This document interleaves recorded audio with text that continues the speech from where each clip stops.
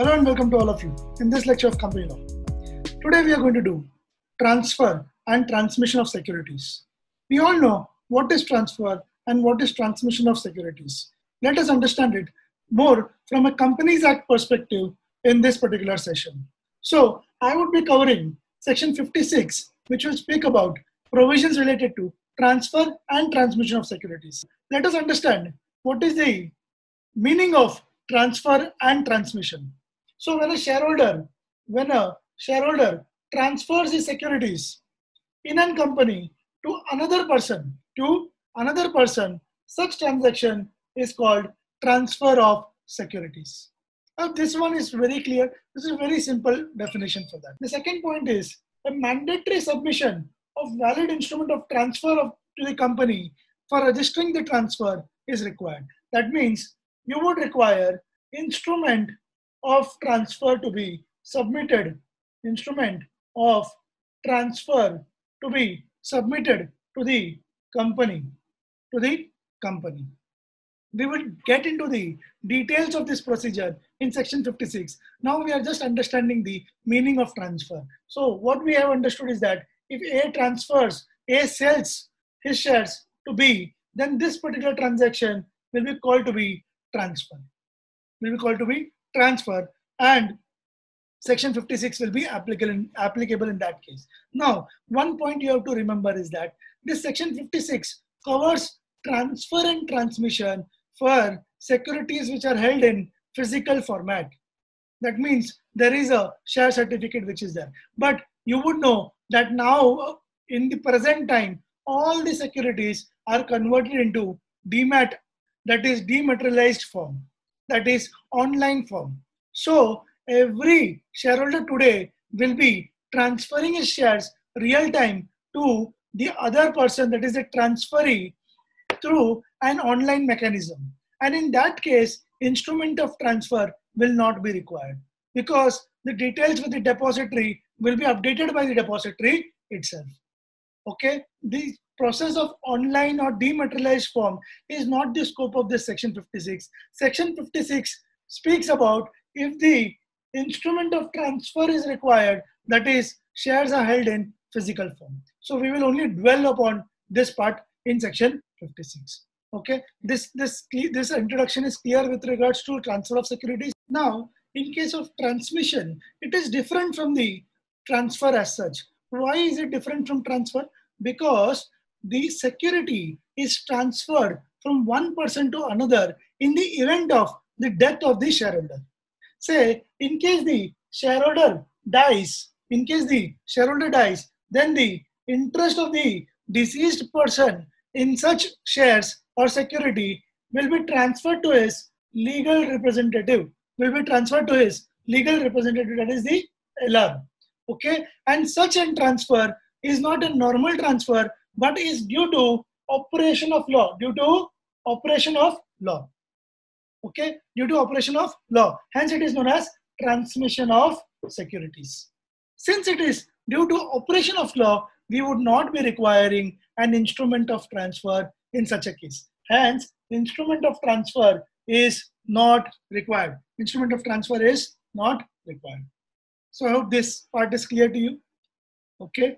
Now, what would be required over here is that since it is happening on the death of a person, death of a shareholder, hence the death certificate, death certificate, succession certificate that the LR is a genuine LR.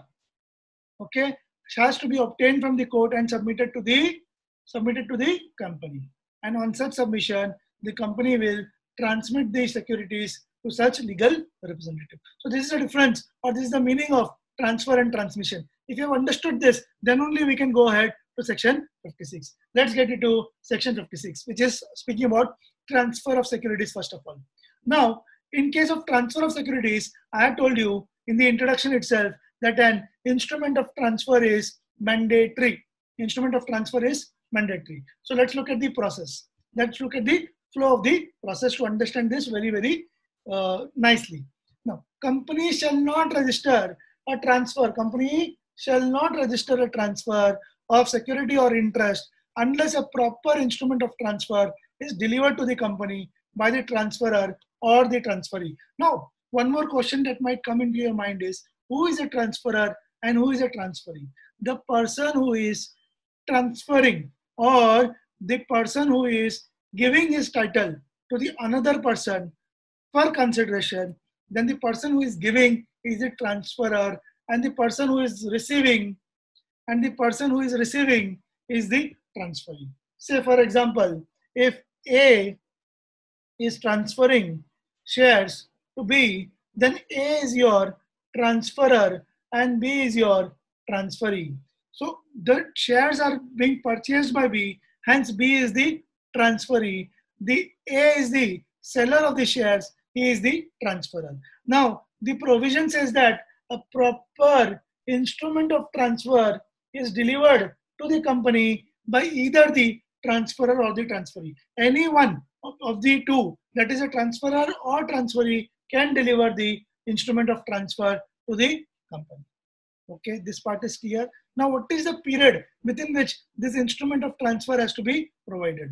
This instrument of transfer has to be provided within a period of 60 days. Within a period of how many days? 60 days. From what? From the date of execution. What do you mean by the date of execution? Date of execution means when I I'm going to transfer any assets of mine, I would be making a sale deed or a transfer deed or a transfer agreement. And such agreement that I am making has to be signed by both the parties. When it is signed by both the parties, then it is known as execution of the contract or execution of the agreement. So, from the date of such execution, within 60 days, the instrument of transfer has to be delivered to the company.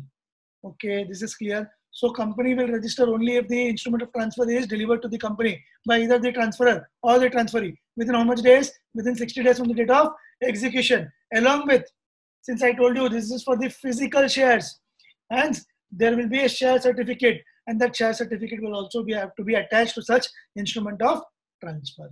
Now, in case it is a freshly allotted shares and the share certificate is not yet issued by the company, then letter of allotment of securities will have to be provided. Okay, this part is also clear to you. This process is clear. Now, what do you mean by a proper instrument, a proper instrument of transfer? What do you mean by proper instrument of transfer? Means it shall be in such form as may be prescribed by the law. It shall be in such format as may be prescribed by the law. It shall be duly stamped. It shall be dated. It shall also be executed by or on behalf of the transferor and the transferee. That means the instrument of transfer has to be signed by both transferor as well as the transferee. It may be submitted by either one of them, but has to be signed by both of them. Okay, this part is clear. It has to be duly stamped and it has to be duly dated also. And it should specify the name, address, occupation of the transferee. Transferee is who? The person who is purchasing the shares. Okay, so his details has to be provided in the instrument of transfer. Why his details have to be provided? Because these details will now be entered by the company in the register of members as a shareholder. Okay, this part is clear. Now, if the instrument of the transfer is lost, say in case the instrument was sent to company, but in transit it got lost or it was not de delivered within the prescribed period, then the company may still register. Company may still register the transfer provided that an indemnity is provided by the parties, that is the transferor and the transferee, as the board may think fit. The board may ask, the board may ask for indemnity. Indemnity means indemnity bond has to be provided by both the parties that in case tomorrow if anybody else claims his shares, then that case whatever expenses will happen or incur on the company, the same will be borne by the parties. Okay, so this is clear. Now, this was section 56 first of all, and section 56 further says that when an application is made, see there is a typical point over here, or say a very uh, typical point which is if in case the shares are being transferred, are shares in the nature of partly paid up shares. That means it is not fully paid up, it is partly paid up shares. In that case, if the application is made by the transferor application is made by the transferor alone, then it relates to the partly paid up shares, then the transfer shall not be registered by the company. transfer shall not be registered by the company unless a notice is given of the application to the transferee. Unless a notice is given, unless a notice is given of the application to the transferee and the transferee gives his no objection. Transferee gives his no objection to the transfer within which period? Within a period of two weeks from the receipt of notice. Now, why is this required? Say in case a partly paid up shares is being transferred by, by a person to another person. In that case, the liability of the balance amount which is due or due to the company has to be paid by the transferee. Hence, the transferee has to take an undertaking and give a no objection that, okay, I understand that it is partly paid up shares which I am purchasing, which I am being transferred to, and I am ready to pay the, the balance amount of calls on the particular shares.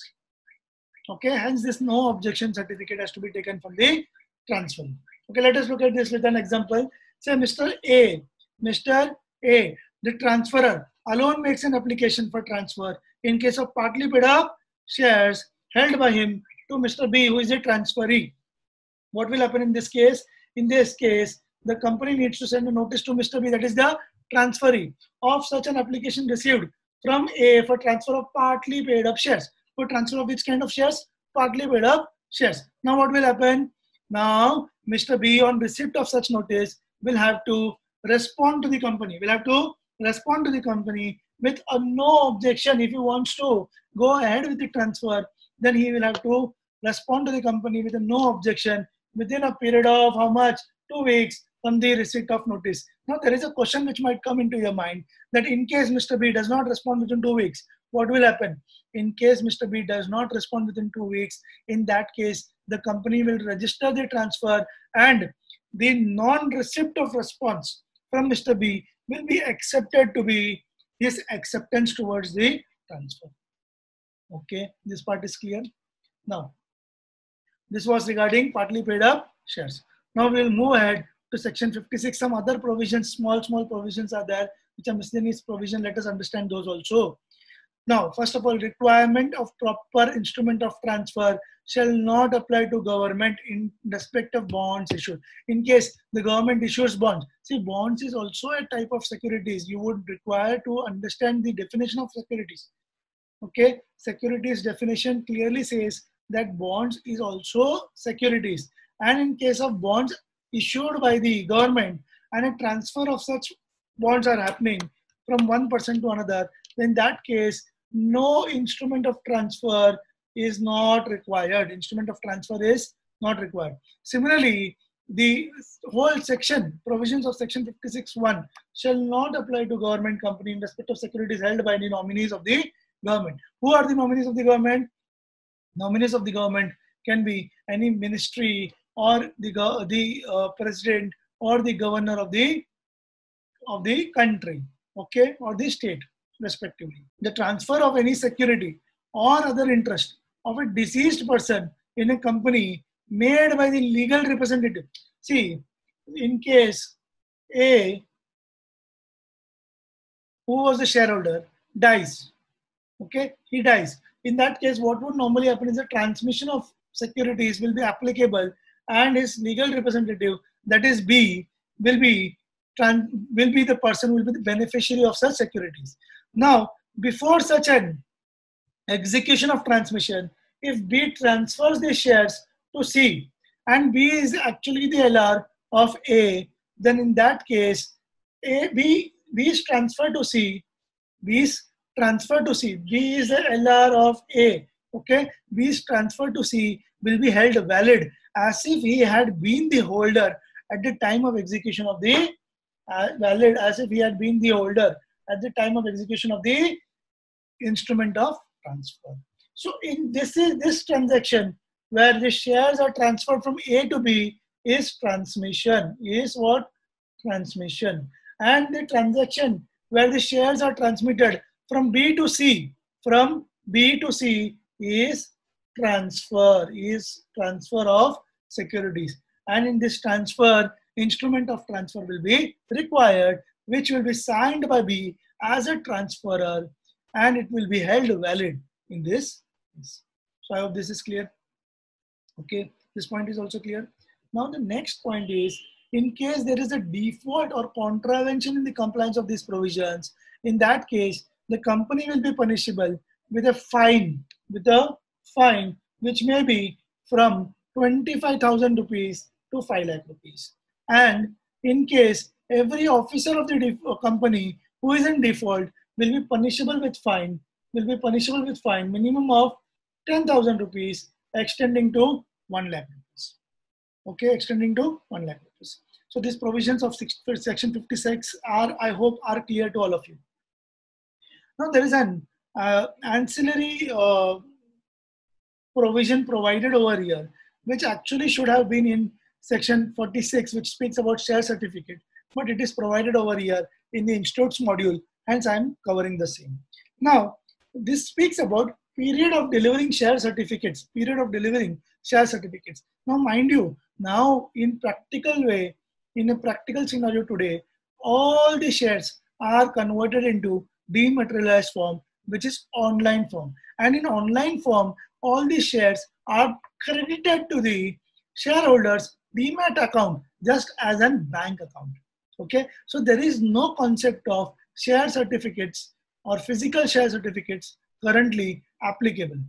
But section 56 still theoretically includes this particular provision. Hence we have to learn it for an examination purpose only. Okay? Now there are different conditions or scenarios where different time period is provided for delivering the certificate by the company to the shareholder. In case of subscribers to the memorandum, these are the first subscribers to the uh, company's shares uh, who are known as subscribers to the memorandum. These are the subscribers who are subscribed to the memorandum at the stage of incorporation of the company. Incorporation of the company. In that case, the company has to deliver these shares within a period of two months from the date of incorporation. I hope this part is clear. In case of allotment, that means the company has come up with an issue to its public, to public, or any kind of issue like private placement or private uh, preferential allotment or rights issue. In that case, allotment is done to the uh, subscribers or the applicants, and wherever an allotment is done, the time period is again two months from the date of allotment. In case of transfer or transmission, which was about section 56. In case of transfer of transmission, the share certificate shall be transferred and delivered to the transferee by the company within one month from the date of receipt of the company of the instrument of transfer or intimation of transmission. So this part is also covered, clear. So this is one month. Okay.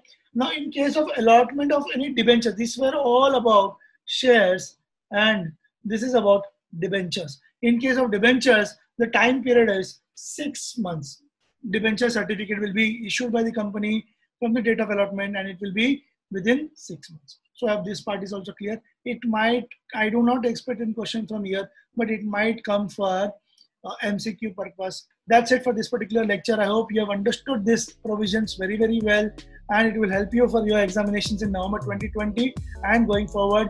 And that's it from, from me in this particular edition. If you have liked the lecture, if you have understood the lecture, please like the video and subscribe to the channel if you are not yet subscribed because I'm going to come up with all other sections and also share it with your friends and groups as much as possible. That's it from me. Stay, stay safe, stay healthy. Thanks a lot.